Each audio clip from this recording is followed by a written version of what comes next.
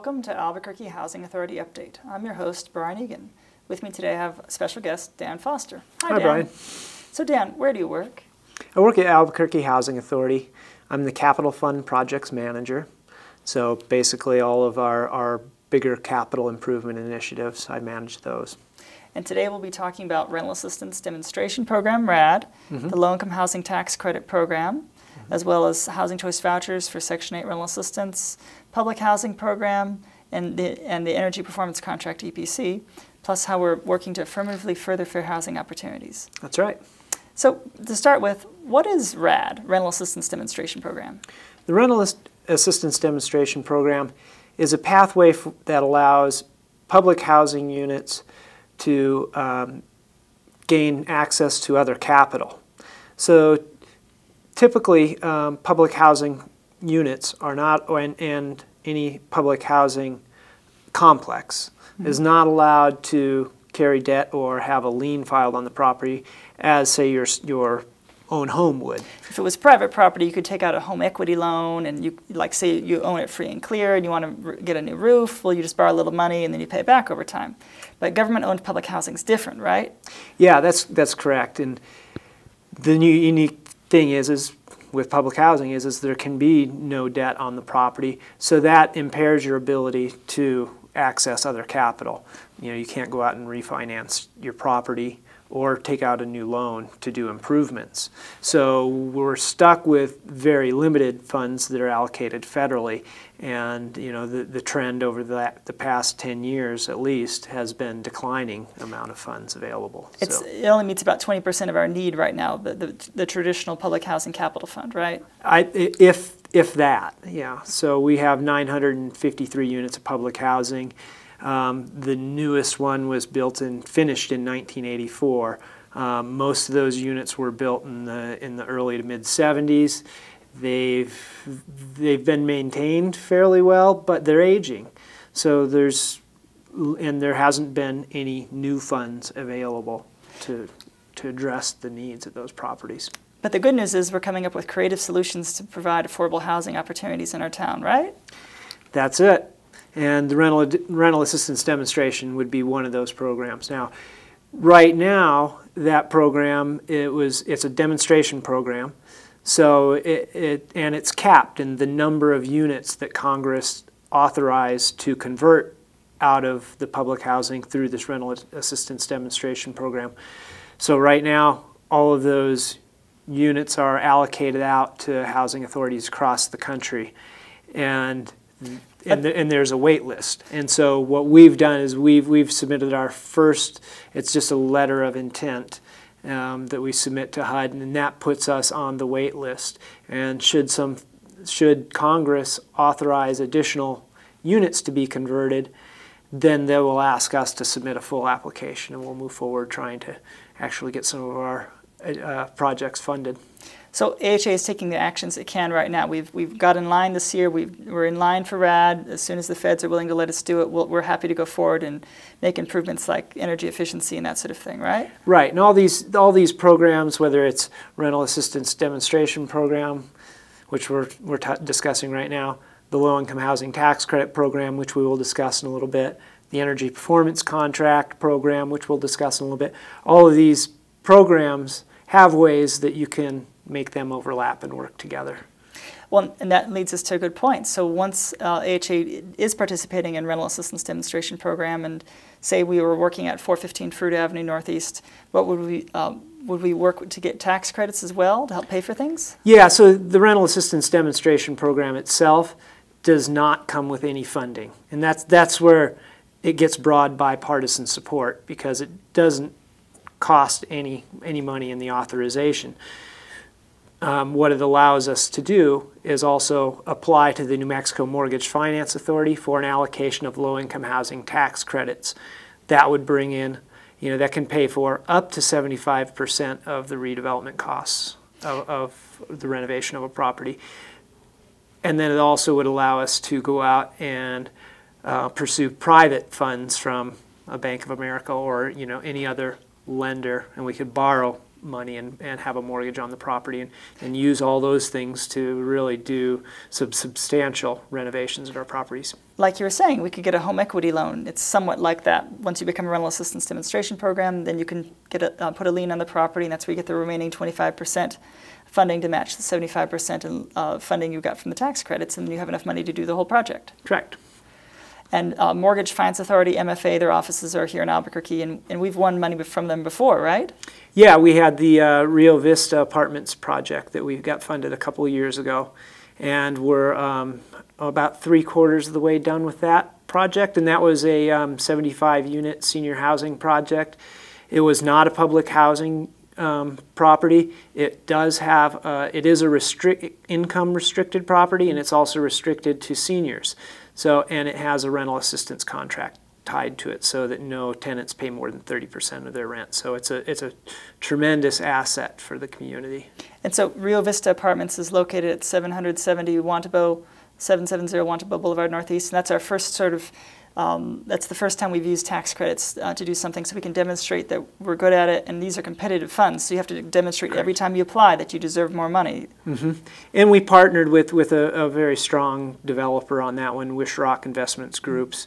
Um, their development division is based out of Missoula, Montana, and that's where most of the staff that we're working with are, are based. And then they also have offices in Portland, Maine. But this is this is that's their kind of specialty is is using low income housing tax credits to renovate properties that have a rental assistance contract on them. And so at Rio Vista Apartments, the AHA was able to achieve the goal of preserving its affordability for another generation. All the tenants that are there presently, all 75 households, get to stay long term. the building will outlive them because this is stretching out another 40 years. And it'll be available for the next generation of elderly tenants that need it. Yeah, and, and we've done some, some tremendous um, improvements at that property. Like what? Well, well, we've done. One is is a completely new heating cooling system, a high tech new system, um, new roofs, more insulation. Uh, we're going to meet um, the enterprise green communities green building criteria. So it's a it's a going to be a very energy efficient, water efficient property and and the I think more to the point for the residents that live there, it's a much improved property. You know, they got new, completely new kitchens, um, new cupboards, new you know all, all new um, appliances. And, and just renovated units. Um, we had added balconies to the first floor units. The upper floor units always had balconies, but the first floor never had a patio, so we added cement patios with a with a nice little fence, decorative fence around it, and so, doing a bunch of landscaping. And it's so it's going to be an asset to those people that live there. Their living conditions are going to be much improved. And then also we're doing a lot of things for curb appeal. Um, it wasn't it wasn't a, a particularly bad property to begin with. It had been very well maintained, had decent landscaping, but we're, we're doing a lot of things that are going to increase the curb appeal. Painting, new stucco on the exterior, um, relay, redoing some of the parking lot for circulation issues, and um, and then just a lot of landscaping and so some extra tenant amenities, exteriors, little gazebos and walkways, things like that. And so it's going to be a much more attractive property for the community and it'll be water-wise landscaping. We're going to xeriscaping, so the water bill is going to go down, the gas and electric bills are going down because it's an energy-efficient building now, and if you reduce the utility costs, you can uh, makes the building more economical to operate. It mm -hmm. allows the tenants to be able to afford to live there because their utility bills are smaller and the rent, the rents can stay the same, and uh, it's also creating jobs in the community, right? It is, it is. I, I, don't know what the number is off the top of my head. I'm guessing it's somewhere in the neighborhood of 200, 200 jobs. And it's enhanced the neighborhood around it as well now that they have this uh, beautiful renovated building there. They got new windows. Yeah, and I'd like, you know, we really need to give thanks to um, the, the county commissioners. This was the first low-income housing project that was allocated um, industrial revenue bonds. So, and that, that's based on the the commercial impact it's going to have because of the curb appeal and because of the attractiveness of that property and its location next to a lot of businesses. And so, and so the revenue bond allows the, the property to remain off of the property tax roll, so they, uh, the complex won't have to pay property taxes. That's correct, and that's that's the the the big benefit is it, it operate, it came in somewhere up to about thirty-five or forty thousand dollars a year. We're saving on, on taxes. And what that allowed us to do is, is a, big portion of that allowed us to finance a larger mortgage. We're going to be able to pay back more. So when you translate that into actual dollars for capital building, you know, we, we had, it was seven or eight hundred thousand more we were able to borrow based on that, that uh, tax savings over a 15-year period. So that's an example of how Albuquerque Housing Authority is getting creative, partnering with the county, partnering with the city, partnering with the U.S. Department of Housing and Development HUD to find money wherever we can to provide affordable housing and self-sufficiency opportunities. We're always looking for those opportunities to, to leverage and come up with new innovative ways to address the housing needs in the city. So, so Albuquerque Housing Authority owns, operates, and manages about 953 public housing units. And then, we have a, and then another big rental assistance program we have is Section 8 Housing Choice Vouchers. And that, the housing choice vouchers are for privately owned houses and apartments where we give the tenant a voucher and say, it's your choice. Please go find a house or apartment to rent, right? Yeah, that's that's correct. And so that's it's a it's um, a portable voucher, and it travels with that that client, that resident, versus a project-based um, rental assistance contract, which would remain with a property. And so, and for housing choice voucher holders, um, they're free to go wherever they want, but um, the landlord there doesn't have to necessarily provide a wheelchair ramp if you're a tenant in a wheelchair. So public housing is great because the landlord will provide ramps. We're, we're working to make improvements, right? Yeah, right now we're in the process of converting 5% of our total units um, to comply with Americans with Disabilities Act and the Uniform Federal Accessibility Standards. So there are two um, similar but slightly different standards.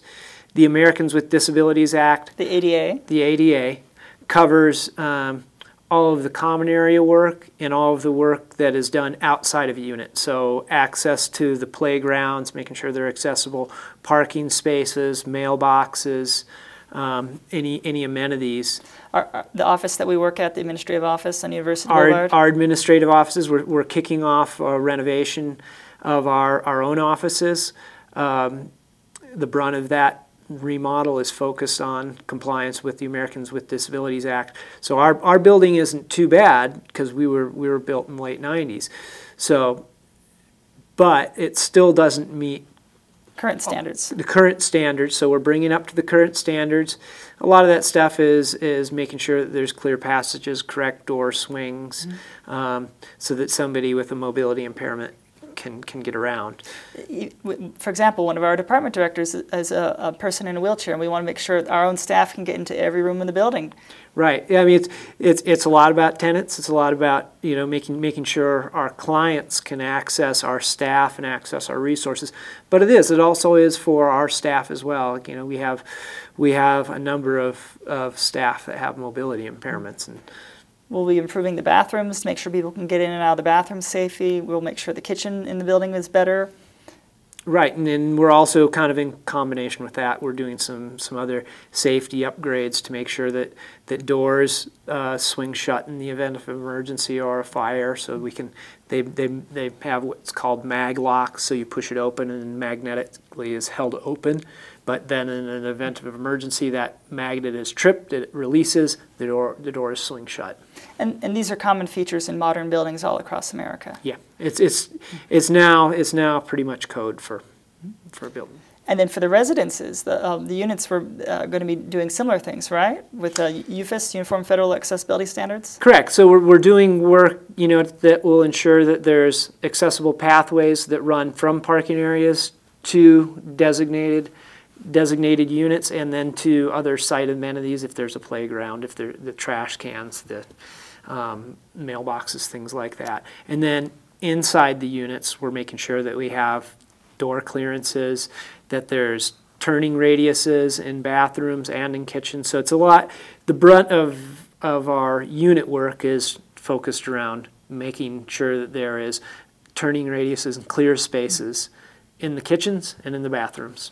And that we have, roll, we're doing a lot of roll-in showers, handheld shower heads. And will all the wheelchair accessible apartments be at one building, at one site, or is it going to be all over the place? No, we're, we're scattering. I mean, the, the idea is, is we want to make sure that we have these located throughout the city so that somebody um, with- a disability isn't quarantined to one, one part of the city. Um, We want to so- deconcentrate. we're deconcentrating, yep, just like, you know, we're making sure that there's opportunities throughout the city for anybody with a disability.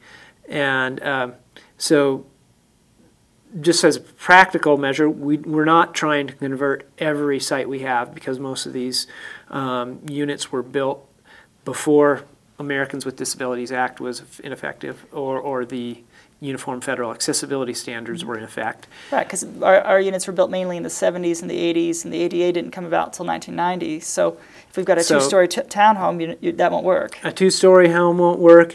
There are also site conditions, so if, if the, the housing complex was on a hill, there's just practically no way to, to achieve the, the ramp slopes that we would need to achieve to make a, you know, uh, have access to a particular unit or a portion of that site. Uh, you know, we can't, we can't lower the buildings. And Right. you can't really raise all the parking areas. Because we have a limited amount of funding, like you said before. We have to be very frugal. Right, right. We're, we're, so we've kind of tried to be um, selective, making sure while we, we're making sure that we get good geographic distribution for opportunity, that, that we are picking the, the units and the sites that are most easily con- converted. So we're trying to be responsible stewards of public funds. And then, so by the end of 2017, uh, we hope to start on New Year's Day 2018 with 5% of our public housing units being converted, right? Yep, that's at a minimum. And we're also thinking about people that have visual impairments and auditory impairments. So we may have places where the, the doorbell flashes instead of rings if you Yeah, can't hear anymore. That's correct. So five percent of our units are going to be converted um, for the, to, to be in full compliance with Uniform Federal Accessibility Standards, Americans with Disabilities Act, and that's you know targeting a lot of people with mobility impairments. The the other we also have two percent for people with hearing and visual impairments. So and that's in addition to the five percent. So there'll be other ones that have.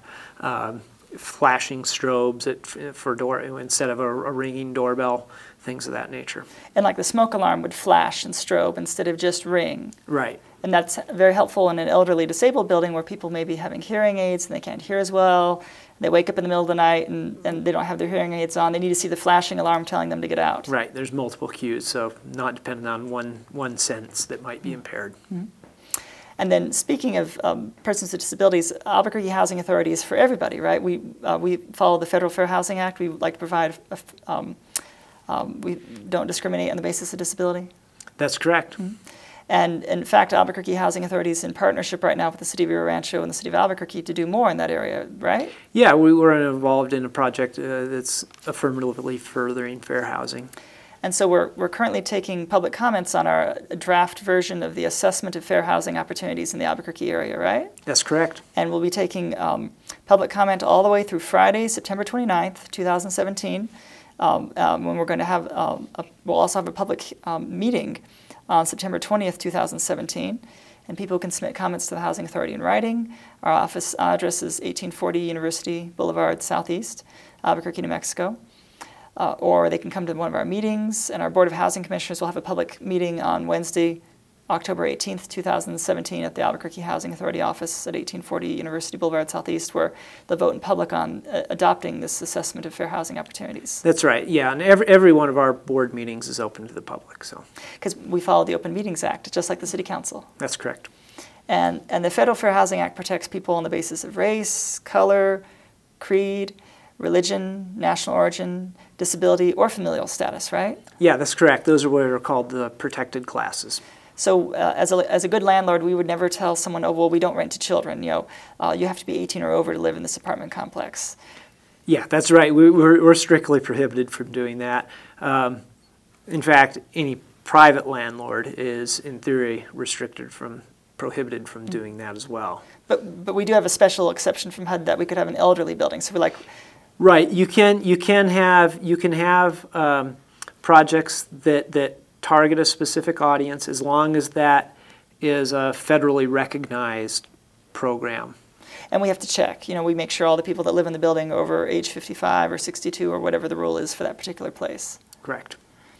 And then, um, and also we're, we're, um, we have a pet policy that says you can have one dog or one cat, but of course if you need a therapy animal for disability reasons, that's different. Yes. And all landlords should be that way, right? Should be. And then um, also, um, Albuquerque Housing Authority is working to develop more housing, correct? Yeah, we're always, we're always looking to try to find other opportunities to develop more housing. Um, Do we have a, a long-term plan to do this? We do. We have our, it's, it's our housing plan, and it's our 10-year plan to address housing needs. Now, the, the initial core of it is focused on rehabilitating the existing units we have, because we have these 953 units that are all aging. Because first you have to preserve what you have before you add. Correct, and we already have families living in them. We want it, we want their quality of life to be good, and the quality of housing they have to be, you know, at the best we can we can we can provide for them. And, and that's why we've replaced the roofs recently, and, and now we're making the wheel, more units wheelchair accessible. And then, how does the energy performance contract tie into that? The energy performance contract, it's another HUD funding program. It's one of the other, the few other ways we can have a form of debt on public housing. Now, in this case, um, what we're financing with the energy performance contract are, are different um, energy conservation measures. ECMs is what they're called in, in the EPC lingo. So, but that's what we're doing across the board is low flow low flow aerators in the kitchen bathroom sinks To save water. to save water. Yep, and that's a huge savings. Low flow shower heads, and we did test those. So, you know, they've they've been tested and approved by those are do, that are actually doing the install. So they're actually they're actually quite nice. So you have good. You have good. You have good pressure. You're just not wasting any Yeah, water. we're not we're not reenacting the Seinfeld episode where we had to where the tenants had to smuggle in new shower high flow shower heads from from the So they could actually rinse all the soap off. Yeah. yeah, you can actually get the soap off with these shower heads. They're they're they're pretty nice. So we're doing that, and then we're replacing all the interior lighting, the uh, the standard incandescent light bulbs with um, energy efficient LED lighting. They're both energy efficient and they last longer, So there'll be less maintenance to do. less maintenance. We're doing um, exterior lighting at a number of units, not all of them, but we're at a number of properties. We're redoing exterior lighting to replace the um, old exterior lights with energy efficient LED exterior lighting. So it'll be brighter parking lots that use less electricity. That's right. Yeah, trying trying to hit, um, in addition to just hitting the energy conservation um, issues, we're trying to also address capital needs and safety needs at the same time. We're doing that. So, and then um, a number of units we're also replacing furnaces with higher efficiency furnaces, hot water heaters with higher efficiency hot water heaters. We're doing things like in some of our uh, senior housing properties that have electric um, stovetops. We're replacing the, the burners with what are called safety burners. So they're burners that only get so hot and, and then they, they don't get any hotter and then they also shut off after a certain period of time. So you don't have to worry about grandma leaving uh, leaving the tea kettle on all night. Right, and it's burning down the house, or at least setting off the fire alarm, making the whole complex smell of burnt beans. Yeah, and having to everyone evacuate at two in the morning. hmm Those are the issues we're trying to, and it also saves energy. So that one's a double hit. It creates a safer living environment, and it's more energy conserva- conservation. And so, um, so we're first we're preserving what we have, and the next we plan to expand over the next decade. How do we uh, plan to expand? Well, primarily what we would be doing is, is looking for opportunities. We'll be looking for opportunities to partner with the city to acquire land um, and, and looking for other housing partners to work with, but basically building new units. That's how we expand our housing. Building, and then we'll also watch for opportunities to acquire properties. And so we're presently looking at our, our whole public housing portfolio and figuring some, some of these units we should replace and maybe build a larger building there instead of a one-story building. Yeah, some of our sites we just don't have as much uh, density as we would like. They would they were built at a time where the land wasn't was was more freely available, and they didn't make the best use of the space on a given site. And then when you combine that with some housing that's that's aging, um, some of the, the better opportunity instead of trying to redevelop those particular housing units.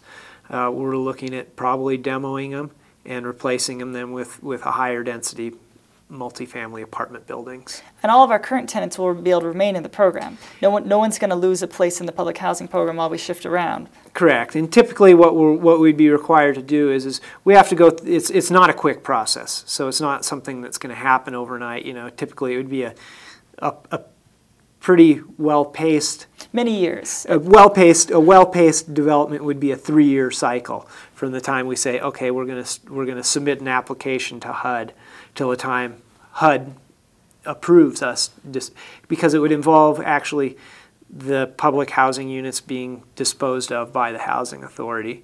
And then we'd we'd be in a new legal structure. It would still be the housing authority but it would be under a different legal entity and that has to do with how the funding works It'd still be affordable to the tenants. it would still be affordable from the, from the tenant perspective. They, what they would be getting is a new home. All the rental assistance they receive would still be in place. Their rents wouldn't change. What they would get would be new apartments, and um, what we but part of that application process involves consultation with with tenants, with residents, and typically what we would have to do is is we would have to replace the housing units that were demolished. One for one, typically. One, one for one, yep. And our goal is not to do one for one. Our, our goal is more like to do three for one.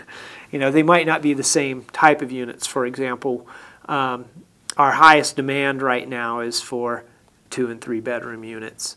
So we would probably be targeting more of those instead of, you know, say we have four bedroom units on a property.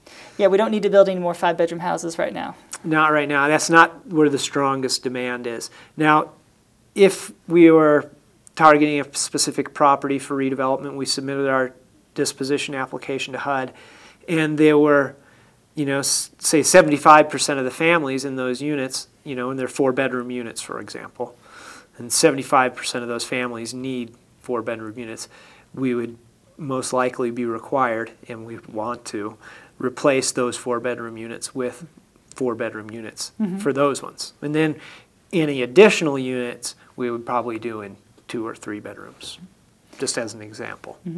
And then and AHA is always looking for affordable housing funding. So, for example, we're interested in the Workforce Housing Trust Fund bond issue, and the City of Albuquerque sometimes helps us with funding, not just the federal government. That's correct, yeah. The, the city of Albuquerque has, um, I think, you know, th- there's three pots of money that come to mind for me immediately. One is the Affordable Workforce Housing Trust Fund, the bond money. Second one that they get is they get what's called home money from, and that all comes from U.S. Department of Housing and Urban Development. And then the third pot of money is community development block grants. The CDBG funding. Correct. And all of those fundings, you know, potentially can be used for, for Albuquerque Housing Authority public housing. Like one time they gave us community development block grant funding and we replaced a few roofs and we bought some playground equipment. Our new tenant-based rental assistance program, TBRA, is funded with home funds. Mm-hmm. And so we're always, we're always looking for money. And so uh, uh, thank you, Dan, for being my guest today and good luck building more houses. Thank you.